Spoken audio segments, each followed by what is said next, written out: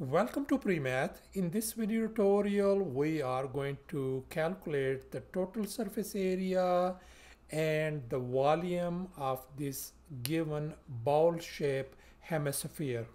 So let's go ahead and calculate its total surface area first.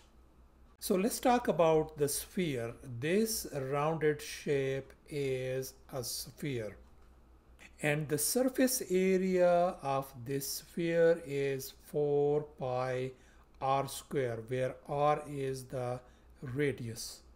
And here is the hemisphere the shaded area. This is the half of the whole sphere.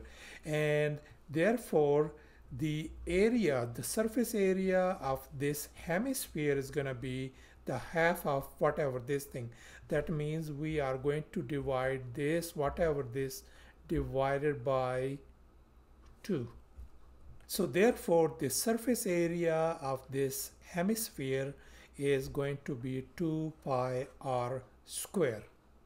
And since we are looking for the total surface area of this hemisphere so we have to include this uh, circle as well that I have shaded with a red. And the area of this circle that I have shaded with the red is pi r square. So therefore the total surface area of this hemisphere is going to be not only 2 pi r square this one plus this pi r square as well so therefore the total surface area of this given shape is going to be 2 pi r square plus pi r square is going to make 3 pi r square and we know that the r in our case is 10 centimeter. So let's go ahead and calculate the total surface area. So let's fill in the blanks three times. And by the way, pi is, the value is 3.14. Let me just uh, replace pi by 3.14 times. In our case, r is 10 centimeter square.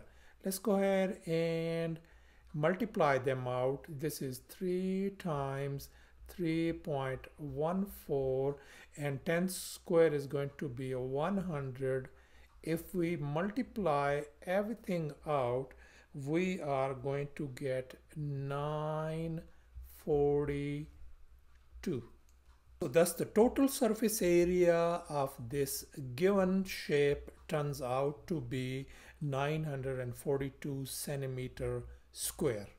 Now let's go ahead and calculate its volume the volume of this given shape and once again, here is our sphere with the radius r.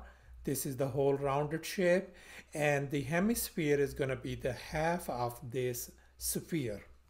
And we know that the volume of this whole sphere is 4 over 3 pi r cube.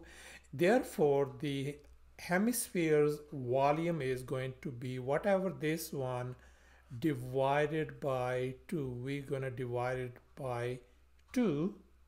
So therefore the volume of this hemisphere is going to be the half of that is going to turn out to be a 2 over 3 pi r cube. So thus we know that the volume V of this hemisphere is going to be 2 over 3 pi r cube where r is the radius and that is 10 centimeter. Now let's go ahead and calculate the volume. So V equals to 2 over 3 and pi in our case is 3.14. I'm going to replace pi by 3.14 and in our case r is 10 and then power 3. Let's simplify furthermore. 2 over 3 times 3.14 and 10 power 3 is going to give us 1000 and if we multiply everything by using calculator that is going to give us 2093.33. So thus the volume of this given shape turns out to be 2093.33 centimeter cube and that is our final answer. Thanks for watching and please don't forget to subscribe to my channel for more exciting videos. Bye.